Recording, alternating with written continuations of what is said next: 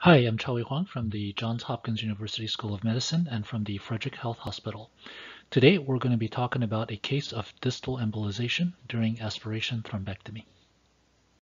The patient is a 55-year-old male smoker who has not seen a doctor in over two decades. He had a severe chest pain that lasted several hours about three days ago and has been having worsening uh, shortness of breath since then. He uh, presents to the ER with ongoing chest discomfort and frank uh, respiratory distress. Uh, in the ER, he was uh, hypertensive, he was tachycardic, and his oxygen saturation was only 82% on 100% non-rebreather. The ECG showed sinus tachycardia, and he had 1 to 2 millimeter uh, lateral ST segment elevations. Uh, he was intubated, and the STEMI team was activated. On diagnostic angiogram, uh, the RCA has a chronic total occlusion uh, in its midsection.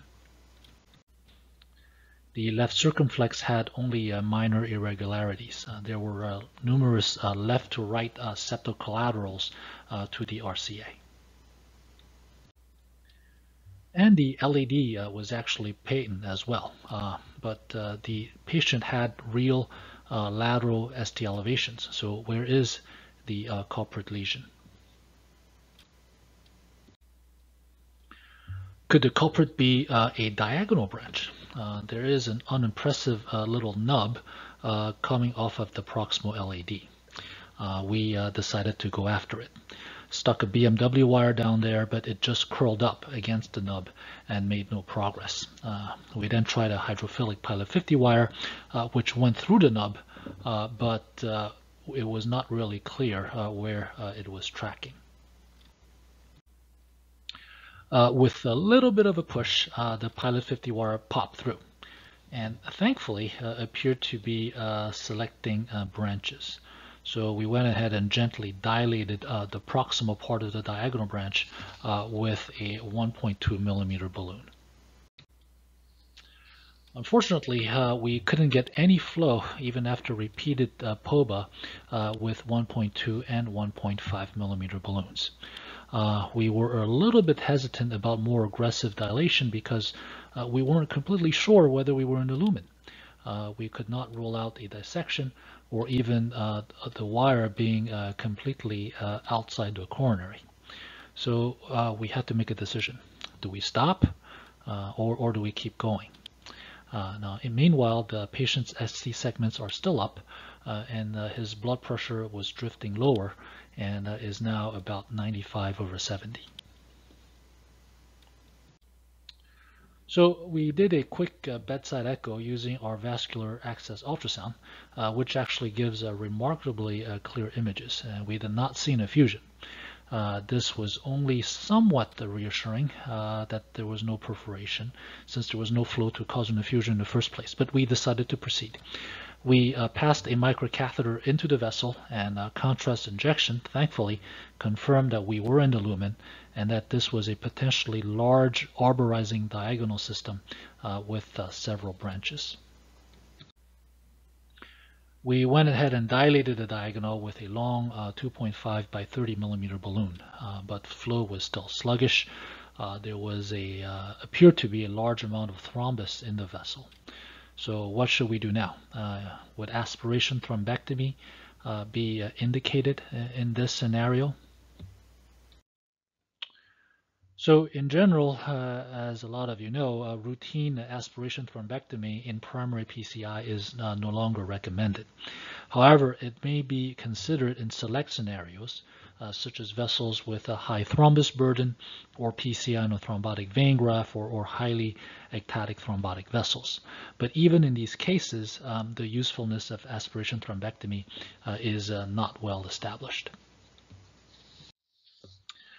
Now, evidence for this uh, comes from the TOTAL trial uh, that was published in 2015.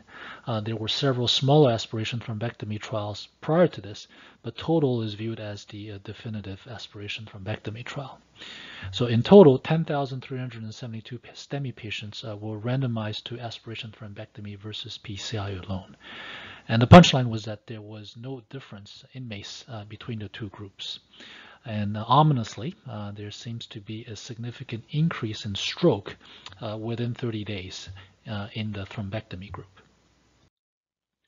So routine aspiration thrombectomy before primary PCI earns a class 3 uh, no benefit uh, recommendation. Uh, bailout aspiration thrombectomy in select cases has a weak class 2B recommendation in that its utility uh, is still not well established.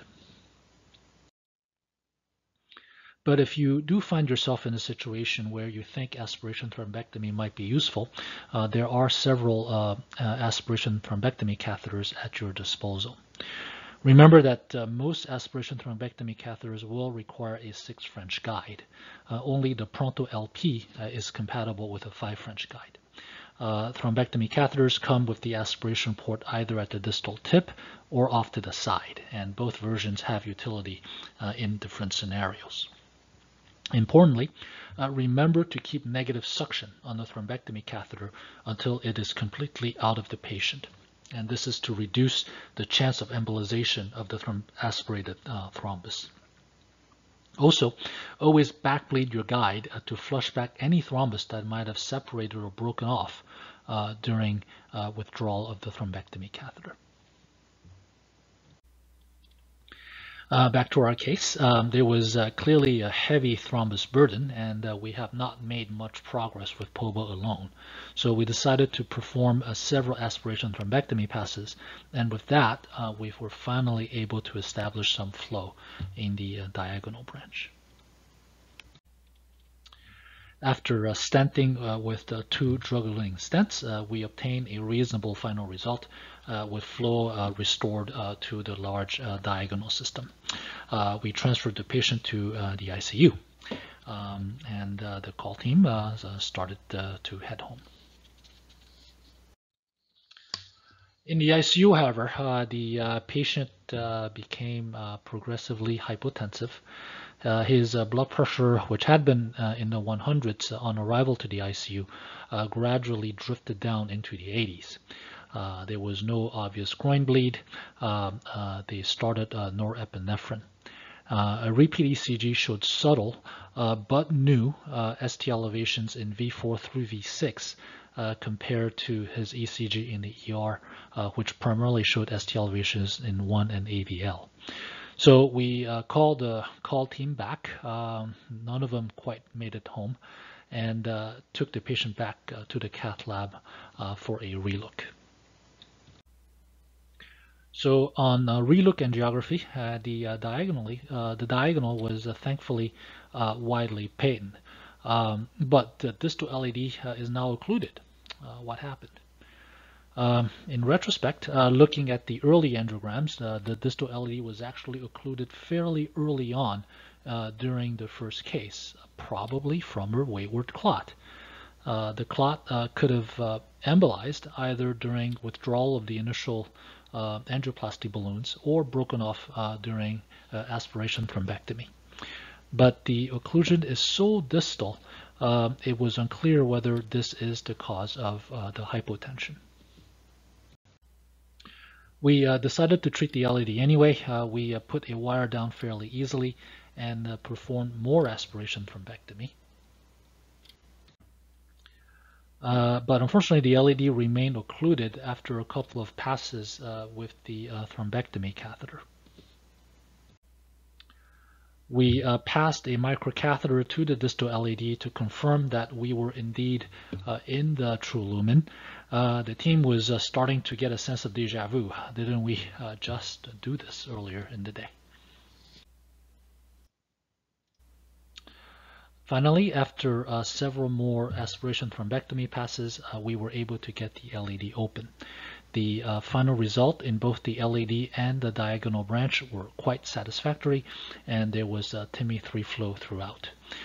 we did place a balloon pump and moved them back to the ICU. He ended up doing quite well. Uh, his uh, pressors were weaned off after a couple of days, and the balloon pump came out. Uh, he was uh, discharged home, and he did stop smoking.